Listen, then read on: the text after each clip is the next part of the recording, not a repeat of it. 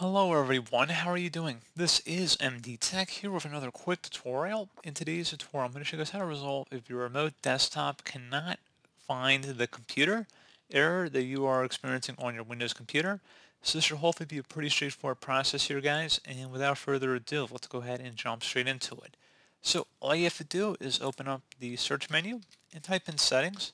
Best result, check them back with settings. Go ahead and open that up. On the right side, you want to locate remote desktop. So just scroll down and select remote desktop. And then versus remote desktop, connect to and use this PC from another device using the remote desktop app. Go ahead and toggle that to the on position. I'm going to ask enable remote desktop. You and users selected under user accounts will be able to connect to this PC remotely. Go ahead and select confirm.